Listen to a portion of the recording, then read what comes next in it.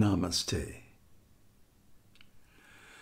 So now we come to two very interesting verses that sit in between two bigger sections and describe how the ignorant person can approach the Supreme Self, Brahman.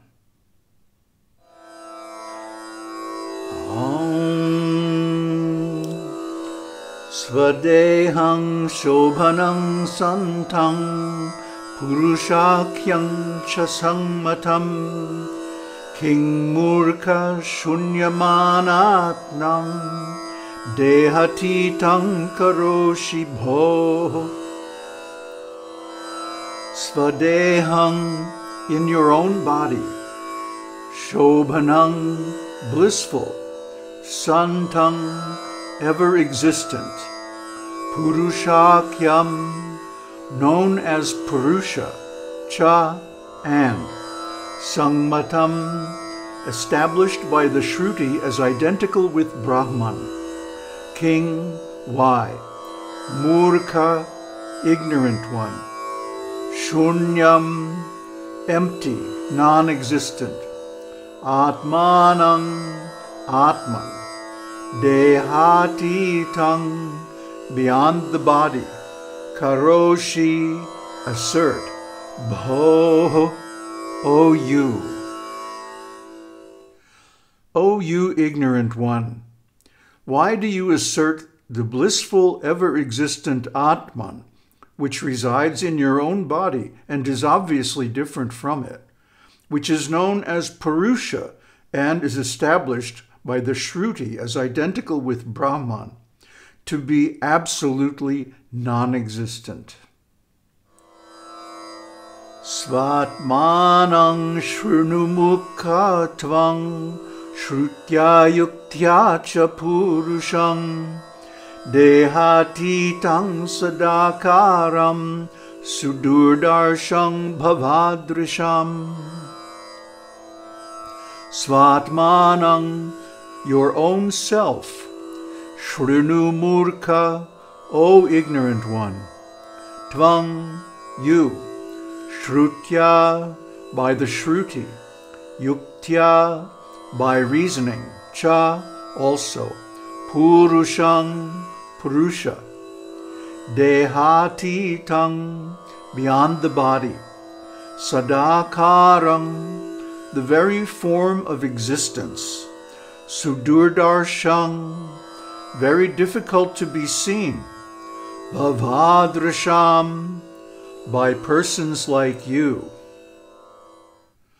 O you ignorant one, try to know with the help of Shruti and reasoning your own self, Purusha, which is different from the body, not a void, but the very form of existence and very difficult for persons like you to realize.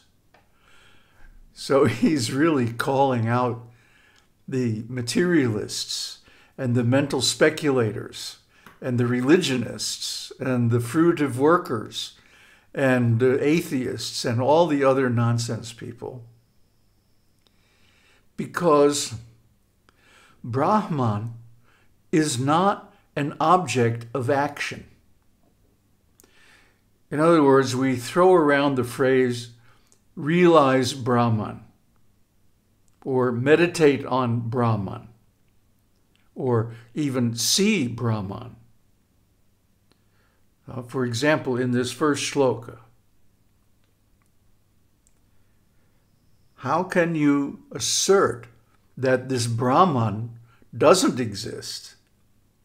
See, it goes both ways you can't assert that Brahman exists because Brahman is never the object of an action or even of consciousness.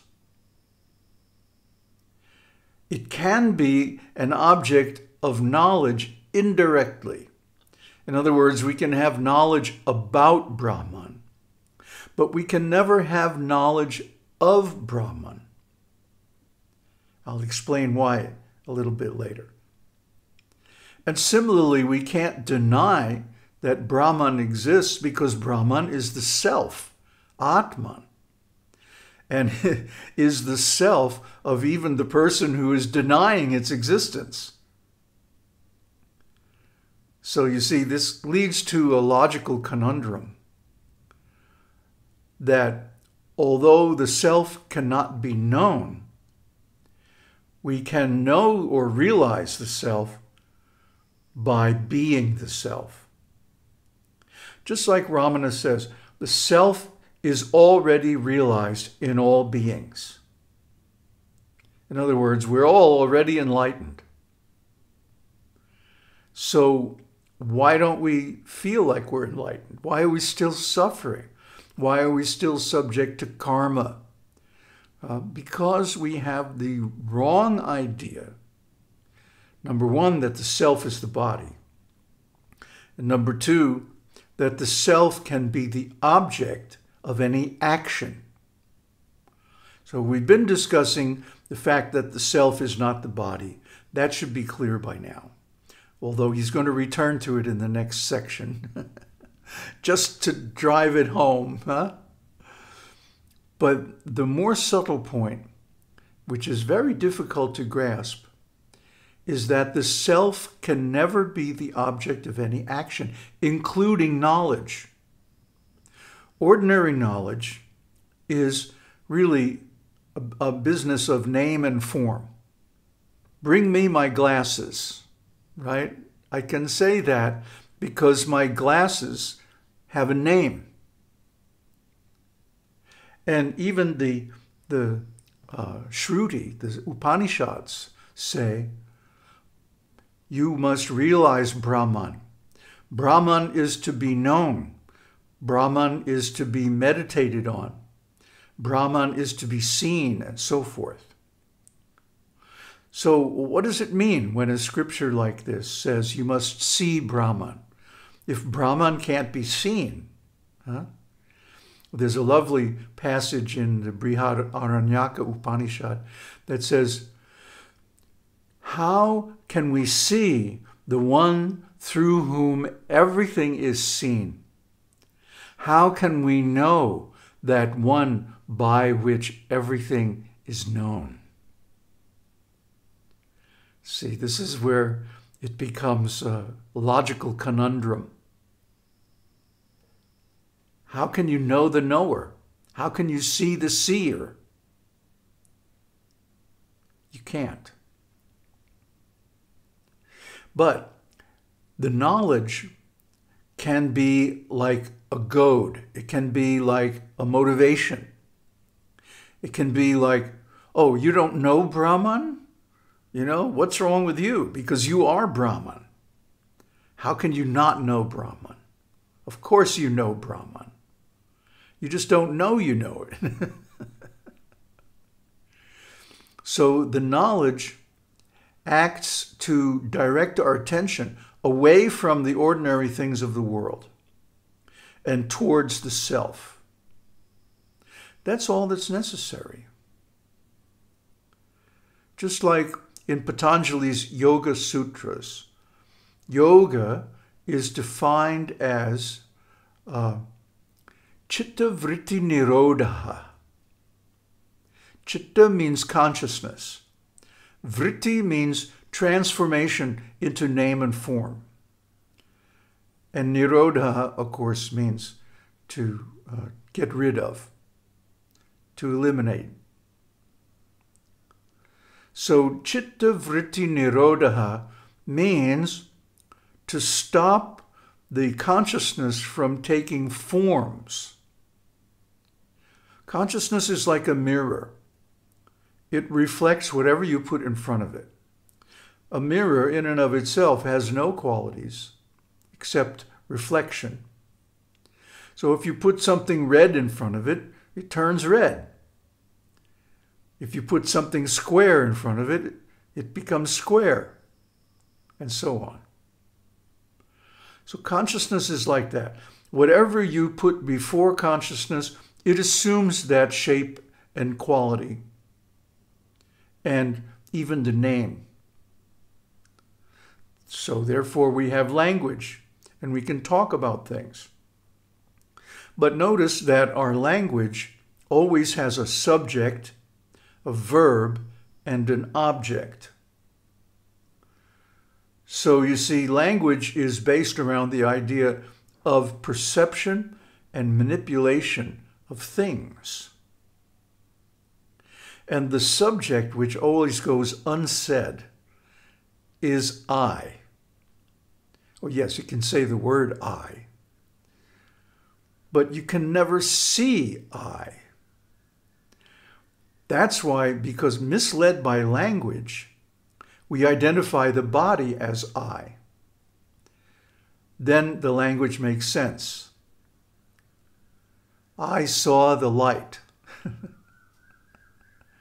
no, the body perceived the light. And I saw the body. I saw the perception. See, there's no action involved in consciousness. And similarly, there's no action involved in meditation.